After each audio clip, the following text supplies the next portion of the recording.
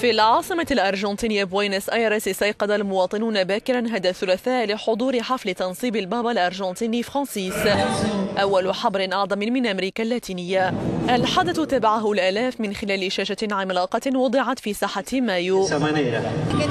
الجميع موحد اليوم بفضل هذا الرجل الذي انتخب على رأس الكنيسة تقول هذه المواطنة ليكون عبرة ومثالا لنا وللإنسانية واحتشدت جماهير غفيرة لمتابعة هذا الحدث العالمي. لحظات مؤثرة وحساسة بدت عند الكثيرين. هذه سيدة شابة تقول وهي متأثرة أنا أعرف البابا لأنه صديق لي. وأثناء الاحتفالات في العاصمة الإيطالية روما أجرى البابا فرانسيس مكالمة هاتفية مع مواطنيه في العاصمة الأرجنتينية. نقلت عبر مكبرات للصوت. طلب منهم الصلاة من أجله وعبر لهم عن حبه ووعدهم بالاهتمام بهم.